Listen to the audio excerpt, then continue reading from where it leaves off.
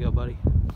Just uh, wanted to show you guys Opto Explorer versus SE Explorer. Got about 20 mile an hour, 25 mile an hour, left to right slide.